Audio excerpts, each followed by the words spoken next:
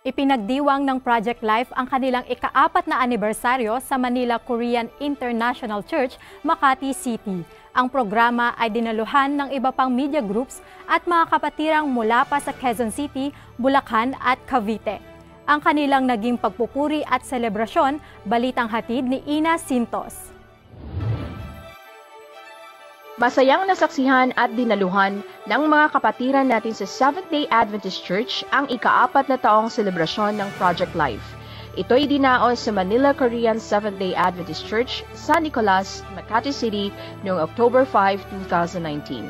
Dumalo sa nasabing pagtitipon ang mga kapatiran natin galing pa sa Jordan Heights, Quezon City, South Taguig Media Ministry, taga Bulacan, mga taga Cavite, at mga regular visitors ng Manila Korean SDA Church. Ang programa ay may temang Out of the Box na pinangunahan nila Jemroy Fuentes, direktor ng Project Life, kasama ang ibang mga miyembro ng nasabing media ministry.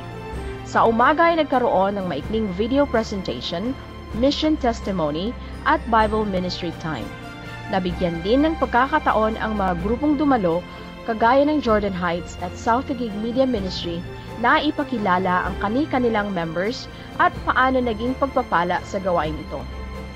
Nabanggit nila kung paano nagsimula ang bawat grupo at ang mga pagsubok sa gawain. Ang naging tagapagsalita sa Divine Service ay ang Hope Channel missionary na si Ria Alisa Shuson.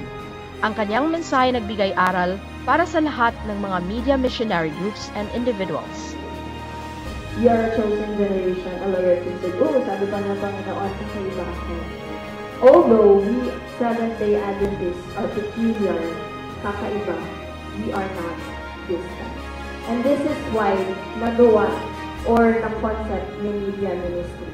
Because hindi lamang tayong mga magkakapatiran ang dapat nakakarinig sa Panginoon, kundi yung mga tao hindi naabot pa ng mga traditional needs. Ang Project Life ay isang ministry dito sa Central Luzon Conference na ang focus po ay magpalaganap ng uh, salita ng Panginoon sa pamamagitan ng social media.